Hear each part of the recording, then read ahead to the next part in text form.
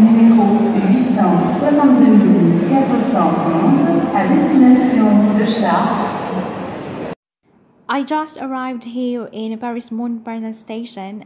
I came from Tarbes. Now I'm heading to Charles de Gaulle Airport by bus. So let's check it out. So now I am here at the pickup location of the bus. It's actually five minutes walk away from the train station itself. So this is the machine where I can purchase a ticket. So the route that we're going to take is line 4, the orange one from Gare Montparnasse to Roissy CDG Airport. So these are the bus service connections indicated with line numbers and its colors. First, you need to select the language you prefer. Then please select your line. So for me, I'm heading to Roissy CDG, so I'm going to choose line 4, of course. Then you need to select your ticket.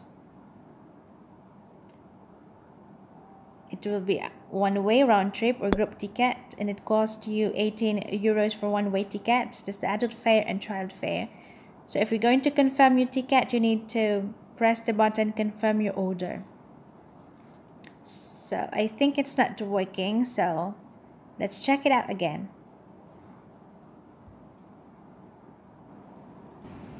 So again please select the line line 4 I need to choose a one-way ticket heading to Roissy CDG and the quantity and this is the adult fare and child fare and then confirm your order.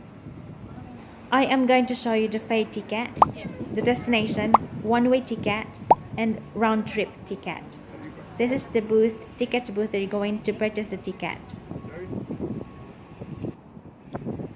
The bus actually offers comfortable seats, luggage service at bus stops, USB plug, and Wi-Fi on board.